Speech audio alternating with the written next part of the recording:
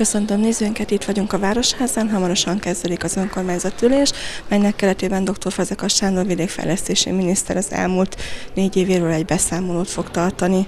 Úgy gondolom, hogy igen tartalmas beszámoló elé nézünk, hiszen sok minden történt az elmúlt évben városunkban is, és az ön által vezetett tárcában is. Szeretném megköszönni a bizalmat, amit Karcag lakosságától, a nagykunsági emberektől kaptam, és amely lehetővé tette azt, hogy az elmúlt négy évben képviselőként, illetve miniszterként dolgozhattam. Itt a ciklus vége felé mindenképpen szükséges, hogy egy számvetés megtörténjen. És Varga Mihály képviselő úrral, minisztertársammal a önkormányzatot és a város lakosságát fogjuk tájékoztatni.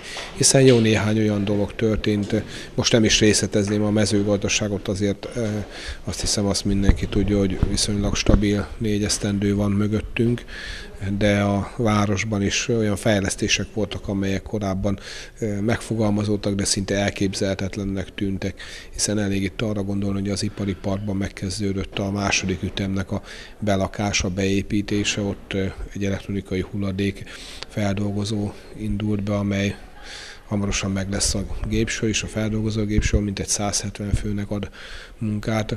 Emellett közlekedés fejlesztésben a vasúti fővonal felújítása, peronrendszer, aluljáró, sőt felújjáró építése, a Madarasi út felújításának a megkezdése is jelentős eredmény, befejeződött a kórház főtömbjének a felújítása, és a pszichiátriai épületen most is vannak munkálatok.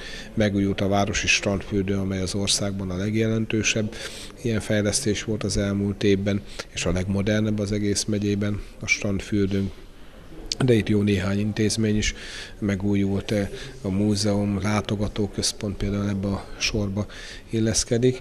Tehát olyan munkálatok történtek, olyan fejlesztések valósultak meg, amelyek a város életerét mutatják. És én szeretném megköszönni ezúton is mindenkinek a támogatást, a segítséget, az együttműködés, hiszen ez csapatmunka a lakosság részéről bizalmat jelent, az önkormányzat részéről, polgármester úr, alpolgármesterek részéről egy szorgos együttműködést, de mindenkinek megvan ebben a része a kivitelezőké, tervezőké, az, aki a segítőké, akiknek köszönhetően ezek a fejlesztések megvalósultak.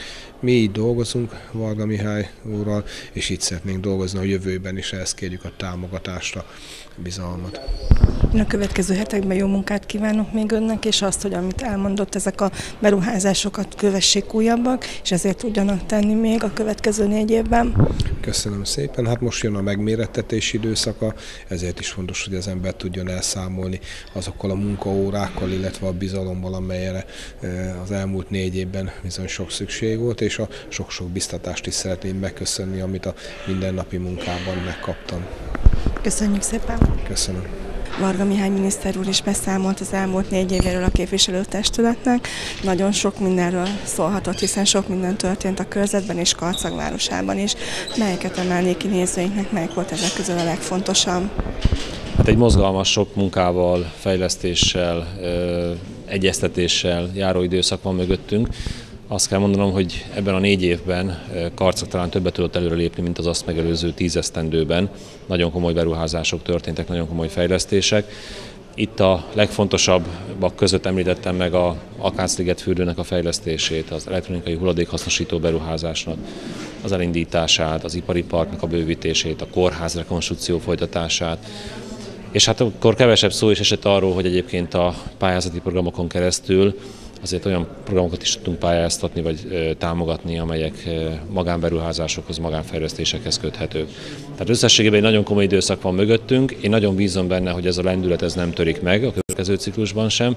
Fazakas Sándor barátom, képviselőtársam, minisztertársam egy olyan megfelelő személy, aki ezt a munkát tovább tudja vinni, tovább tudja folytatni. Itt a beszámolóban is lehetett látni, lehetett érzékelni, hogy ezt az elmúlt négy évet közösen együtt tudtuk így ebben a formában végrehajtani. Elég részletesen szólt a gazdaságpolitika alakulásáról, a pozitív dolgokról. Mit osztana meg nézőinkkel, hiszen a beszédét hallani fogják, de mi az, amit kiemelne, mit tart az saját legfontosabb eredményének ebben a tekintetben? Hát a legnagyobb eredmény nyilván az ország szempontjából az, hogy 2013 júniusában a túlzott deficit eljárást megszüntették az országgal szemben. Brüsszelből 9 év után föl tudtunk állni a szégyenpadról, és 13 augusztusában pedig elő tudtuk törleszteni az IMF-től fölvett hitelt. Tehát két olyan dolog, két olyan kötöttségtől, két olyan nagy kereszttől szabadultunk meg az elmúlt év során, ami mindenkinek a közös eredménye, közös sikere, hiszen ebben nagyon sok ember vett részt, nagyon sok ember közös fáradozása kellett ehhez. Nagyon bízom abban is, hogy az emberek érzékelik azt, hogy a foglalkoztatás, a munkahelyek számának a bővítése most már kezdi átlépni azt a szintet, amikor azt tudjuk mondani, hogy igen, egyre több embernek tudunk lehetőséget biztosítani. 4 millió fölé került most már az országban a foglalkoztatotti létszám, ezt is folytatni kell, hiszen vannak még mindig olyan emberek, akik nem találnak a képzettségnek megfelelő állást vagy munkalehetőséget. Az előbb jelképesen idézőjelnél átadta megnagyobbított választókörzetet dr. Fazekas Sándornak, hiszen tudjuk, hogy ön nem itt indul.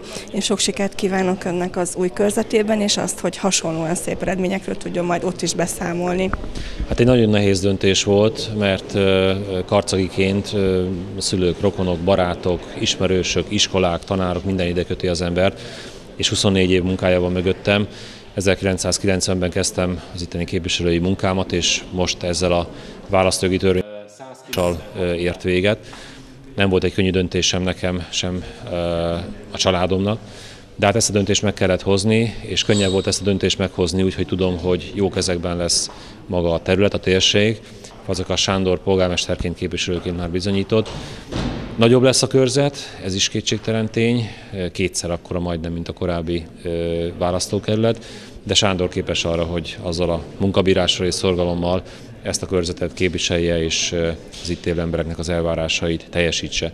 Úgyhogy kicsit egyik szemünk síra, hogy szoktuk mondani, a másik azért örül, vérzik a szívem, hiszen nagyon sok barátot, ismerősöt kell majd talán nélkülöznöm, de hát ahogy itt mondtam is a beszédemnek a végén, rám mindig lehet számítani, én karcagi maradok, soha nem fogom szégyelni, hogy honnan indultam el, és hát abban bízom, hogy az itteniek sem panaszkodnak majd rám. Bizonyára ez így lesz, és jó munkát kívánok önnek majd az új közvetében is. Köszönöm szépen.